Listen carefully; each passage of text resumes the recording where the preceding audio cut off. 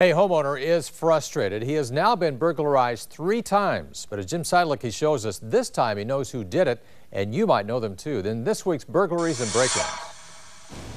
It's easy to see the appeal of living north of the metro, high above the Missouri River. The seclusion, and that's also the problem.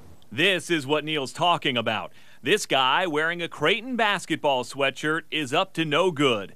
He knocks on Neil's front door just to make sure nobody's home. When that's established, his buddy jumps out of the truck.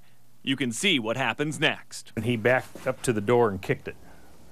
And he kicked it twice or three times. Neil is hoping that someone knows who these guys are. They were seen driving through his neighborhood after the break in by at least two neighbors. This is the area we're talking about, just north of Interstate 680 at the 30th Street exit. They were looking for other targets after his house. As you can see on the video from inside, they left empty handed. That white door is an indication of the damage that was left behind. But there was an indication that these suspects were going to be on camera. All they had to do was look up.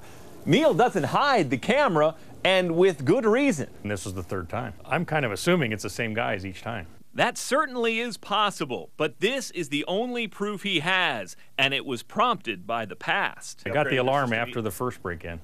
I got the camera after the second break in. Didn't seem to do much good, so I don't know what to do.